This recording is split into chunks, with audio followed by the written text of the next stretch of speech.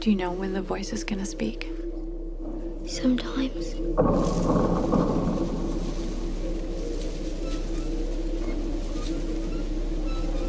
Does it ever say things just to you that you can only hear? Yes. Does it feel like it's coming from inside of you? More like it's coming from behind me. Like I'm being used.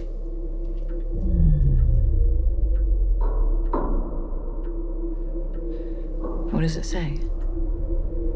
It said it wants to hurt you. When did it say that?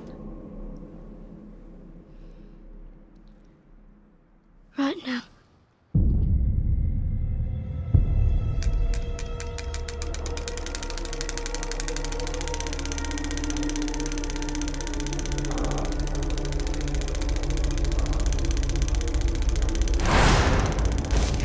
Father, and the Son, and the Holy Spirit.